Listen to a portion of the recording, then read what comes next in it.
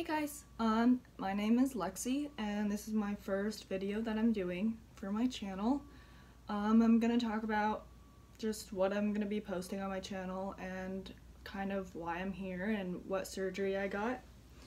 Um, so yeah, so let's begin with um, why I got the surgery and what kind of surgery it is.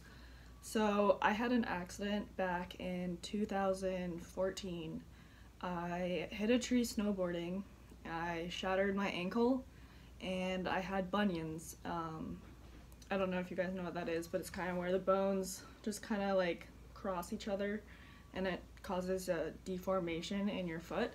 Um, so I decided that I would get both surgeries at the same time. So I got the, my ankle fixed and bunion surgery. Um, and since the six years it's kind of i've kind of had um, like four or five surgeries with 10 things fixed in my foot. And it just never healed. Um, i had the last two years has kind of been like the worst for me. It's been i've been dealing with like chronic uh, pain and it was a lot of discomfort and i couldn't do anything. I couldn't run couldn't walk well, um, couldn't do any of the sports that I enjoyed. I laid in bed a lot of the time. Um, it sucked.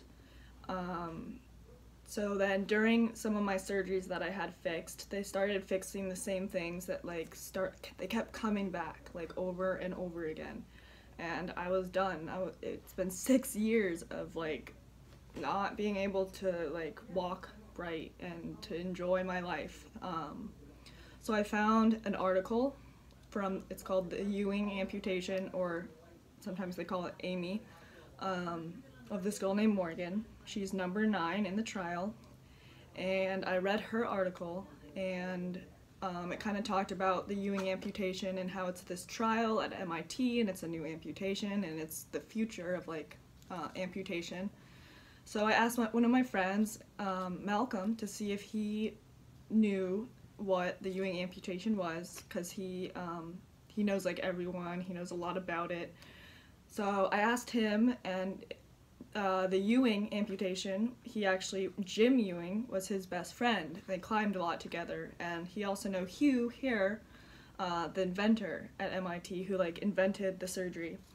So that was awesome and I got connected with both of them and the doctor. So by Monday, this was like on a Saturday we were reading the article. By Monday we got an appointment by for like two weeks out in Boston. So I was able to come down to Boston where I'm at now um, and kind of see like if this surgery was right for me. Um, he did talk about a transmetatarsal which is a partial foot, like cutting off, you know, just the toes. But um, I told him that I didn't want that. I did a lot of research and I interviewed a lot of amputees. And for me, um, with having like, which some, okay, really quick, something I didn't bring up, I have CRPS, which probably came from one of the surgeries that I had. Um, just it's caused by trauma or like yeah, just trauma or surgery. So I got that sometime um, between like all my surgeries and my last surgery I started to notice that my legs would turn purple and then my, like in the shower or when I would sit for long periods of time my, my both legs would turn purple like this weird blotchiness um, so I had that and that a lot of doctors don't like to amputate because um, it can spread. But Jim, or not Jim, um, what's his name? The doctor, Matt, um, had worked on two or three other people in the study that had CRPS and it actually cured it, like it went away. Um, so I, for the trans, so going back to the transmetatarsal, I didn't want to do that because a disease that I had in my foot, um, and I wanted to cut, you know, I wanted to get away from that. Like, I didn't want them to do more surgery. And a lot of people that get transmetatarsals end up getting more surgery anyways. So my whole thing for this was like I'm done with surgery. Like I just want to be done and not have to worry about more surgery and I just want to get back to my lifestyle.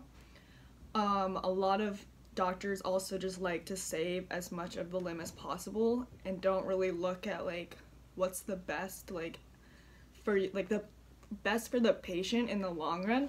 And for me, like I'm super active. I'm 22, so I'm super young and I didn't really you know, I don't it would be a lack of mobility. I wouldn't be able to do um, the sports that I like to do as intensely.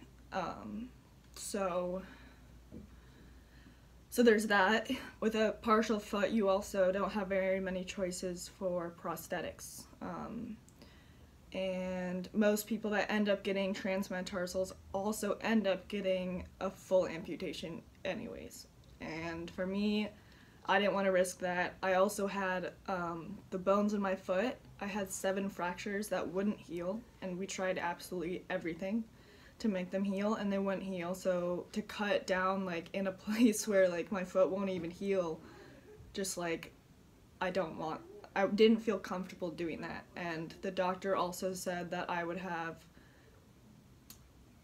It was kind of a 50-50 where I might have to get more surgery or I might not.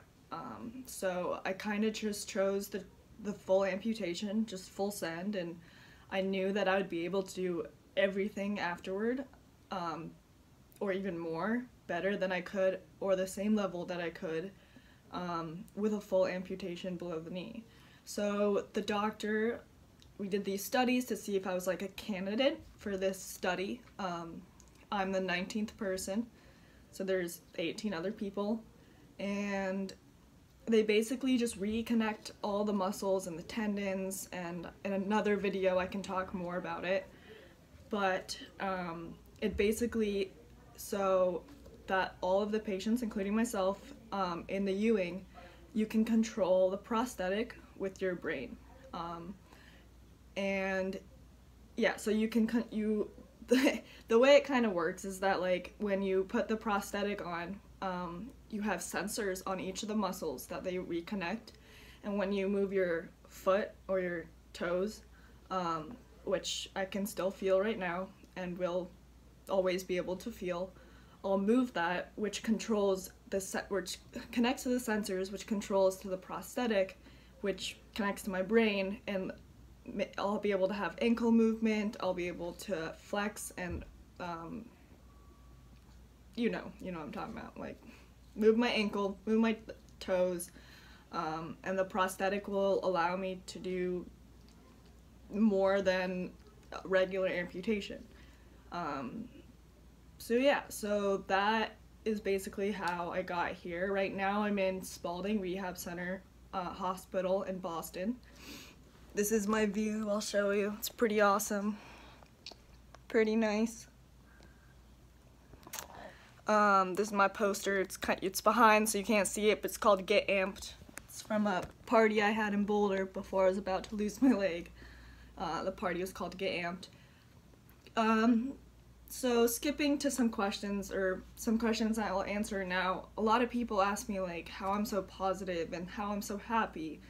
Um, and my question, or my answer to that is that I was I was suffering a lot and like chronic pain and just like not being able to do the things that I love to do in life and it just sucked. So this amputation and this me losing my leg is giving me a new chance to be able to do all of those things, which makes I don't know. I mean, I'm a positive person, so but it just it makes me happy knowing that I'll get over all this, I'll work hard, I'll do my therapy, I'll wait for the recovery to be over, and next thing I know it, I'll be walking and snowboarding and climbing and doing runway, and I'm it's the future that I'm like looking forward to. So that's what like really keeps me positive and the community here for disabilities um, it's a really good community. There's a lot of awesome, awesome people that.